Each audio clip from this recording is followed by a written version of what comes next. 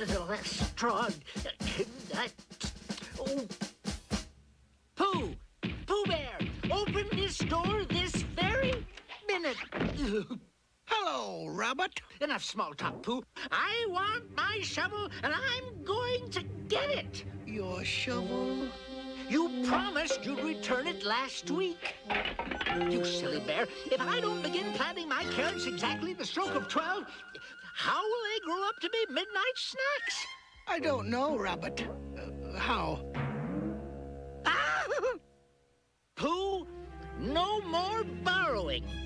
Shovel, now. Actually, I think I left it in the closet.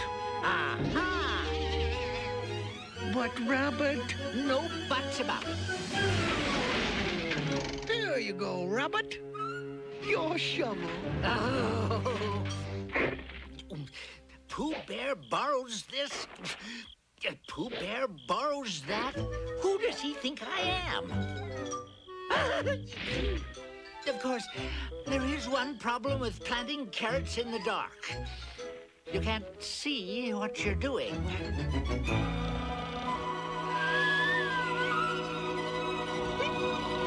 I'm certain Gopher won't mind my borrowing his helmet.